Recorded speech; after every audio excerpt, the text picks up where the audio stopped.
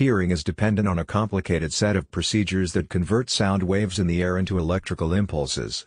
These impulses are subsequently carried to the brain via our auditory nerve. Sound waves enter the outer ear and travel through a thin tunnel known as the ear canal to the eardrum. The incoming sound waves cause the eardrum to vibrate, and the vibrations are transmitted to three small bones in the middle ear. The malleus, incus, and stapes are the names of these bones.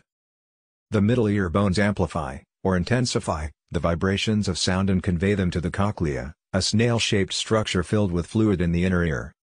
The cochlea is divided into upper and lower parts by an elastic partition that extends from the beginning to the conclusion. This barrier is known as the basilar membrane because it acts as the foundation, or ground floor, for essential hearing components. A traveling wave forms along the basilar membrane after the vibrations force the fluid inside the cochlea to ripple. Hair cells, which are sensory cells that sit on top of the basilar membrane, ride the wave. When this happens, chemicals rush into the cells, causing an electrical signal to be produced.